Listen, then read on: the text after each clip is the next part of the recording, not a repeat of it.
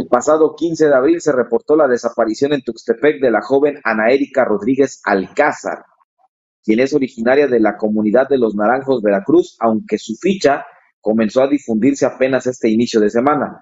Ana Erika tiene varios tatuajes en la pierna y brazo del lado derecho, entre ellos un paisaje en el muslo, además de un rosario en la mano y otras figuras que no se distinguen.